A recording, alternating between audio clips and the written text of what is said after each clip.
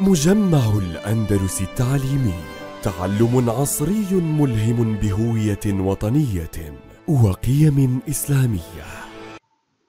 بسم الله الرحمن الرحيم. الحمد لله رب العالمين والصلاة والسلام على أشرف المرسلين سيدنا محمد وعلى آله وصحبه أجمعين. ثم أما بعد طلابي الأعزاء طلاب الصف السابع أهلا ومرحبا بكم في درس جديد من دروس التعلم عن بعد وهو درس اليوم في فرع الكتابة. وصف معاني قطر. لقد ميز الله الإنسان وأعطاه العقل وأعطاه ومنحه حواسا يستطيع أن يستخدمها فيما يرضي الله عز وجل.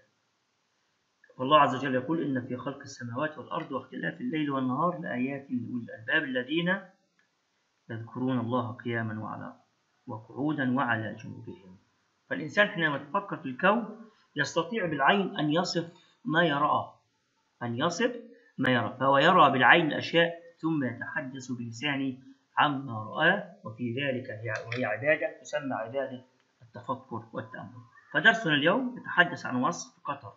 أهداف الدرس أن يستخدم الطالب المعلومات عن مصادر من مصادر متعددة أن يوظف الطالب اللغة المجازية في الكتابة أن يوظف الطالب لغة دقيقة في الوصف. تعالوا ننظر إلى هاتين الصورتين.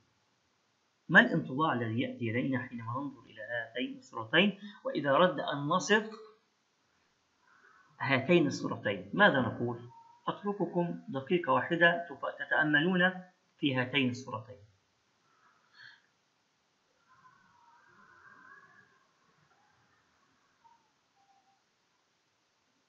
ولكأني أسمع صوتا من بعيد يقول إنها الشمس. نعم إنها الشمس. تعالوا نقرأ كيف وصف كاتبنا اليوم أحمد أمين الشمس حتى نستعين بهذا الوصف في كتابة وصف معالم أو وصف معلم من معالم قطر.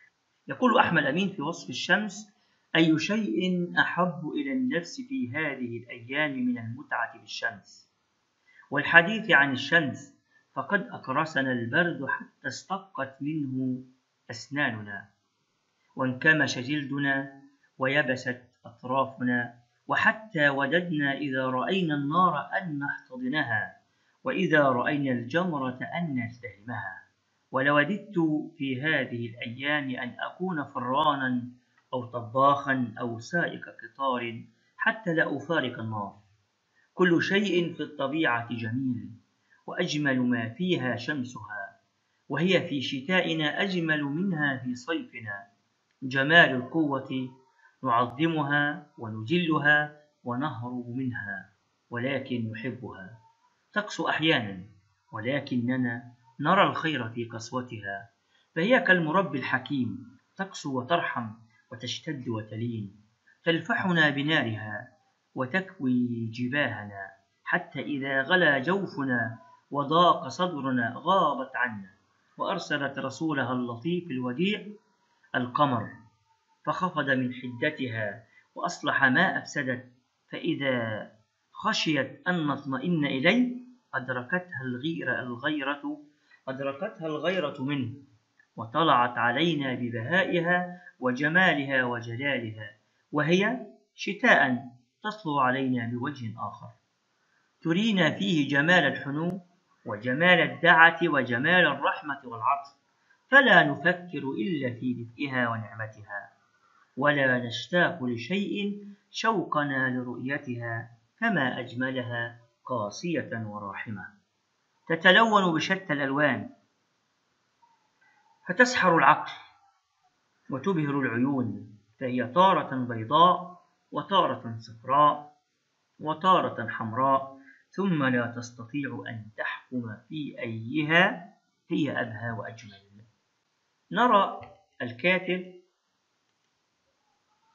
لاحظ أن الكاتب قام بالآتي ماذا فعل الكاتب حتى يجذب انتباه القارئ إلى وصفه وحتى يصف الشمس في صورة في لوحة جميلة؟ أولا وصف الشمس وهي جزء من مكونات الطبيعة.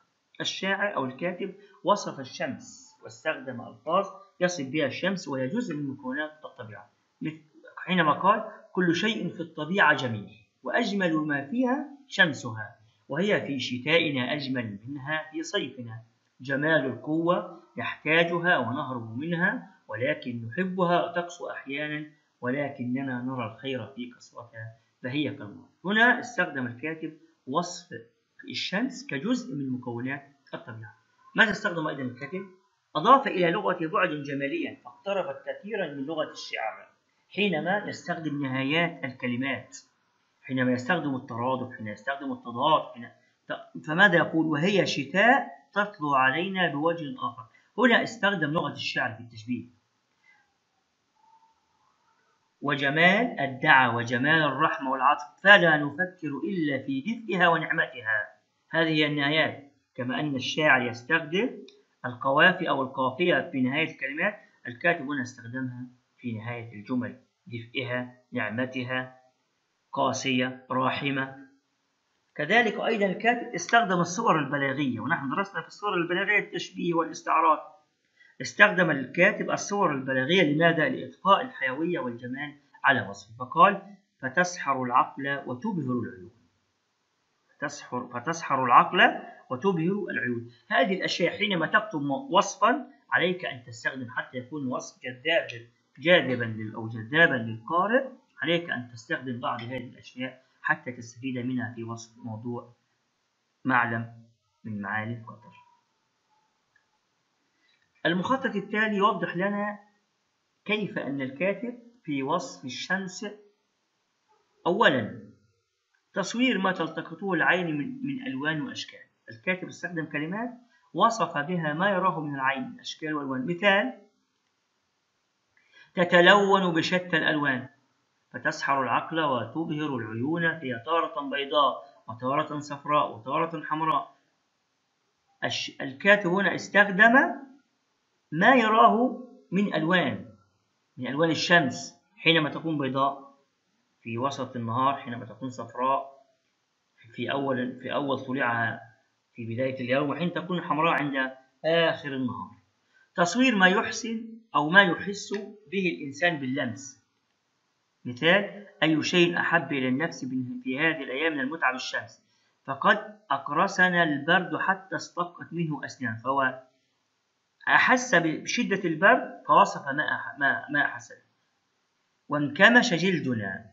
تصوير ما تلتقطه الأذن من أصوات مختلفة مثل حتى استقت منه أسناننا. أصوات أصوات الأسنان حينما من البرد الشديد. وانكمش جلدنا. المشاعر والانطباعات التي يحدثها الموصوف في نفس الوصف مثل والعطف فلا تفكر إلا في دفئها ونعمتها ولا نشتاق لشيء شوقنا لرؤيتها. فهذا هو الانطباع الذي أتى للكاتب حينما رأى منظر الشمس فعليك أن تستعين بهذه الأشياء أو بهذه النقاط المحددة في وصف معلم من معالم قطر. وعليك أيضا أن تستعين بهذه الإرشادات. أولا أن تختار عنوانا مناسبا عنوانا مناسبا لوصف معلم. حتى يكون هذا العنوان جذابا لمن يقرأ الوصف الذي تكتبه. عليك أن تنوع في استخدام الجمل الاسمية والفعلية. الاسمية يعني تبدأ باسم والفعلية التي تبدأ بفعل. وعليك أن تستخدم أن توظف علامات التركيب المناسبة وأدوات الربط بطريقة صحيحة وأن تستخدم أساليب التشويق والصور الفنية أو الصور البلاغية التي درسناها في خلال العام الدراسي. جاء دورك الآن في هذا النشاط أكتب وصفا مجازيا لإحدى الصور الآتية في أربعة أصفار مستخدما اللغة الفنية القائمة على الصور البلاغية ومستفيدة من النشاط السابق الذي عرضناه عليك أن تحاول أن تصف مكتبة قطر كما رأيت حينما زرتها أو متحف الفن الإسلامي أو الحي الثقافي بقطر. عليك أن تصف معلم من هذه المعالم الموجودة في دولة قطر وأن تستخدم ما عرضناه عليك من استخدام الصور البلاغية والعنوان المناسب وعلامات التركيب المناسبة والكلمات الجذابة وما يأتي إليك من انطباعات في داخل نفسك وما تشعر به. وبهذا نكون قد انتهينا من درسنا اليوم. وفقكم الله وبارك فيكم. السلام عليكم ورحمة الله وبركاته.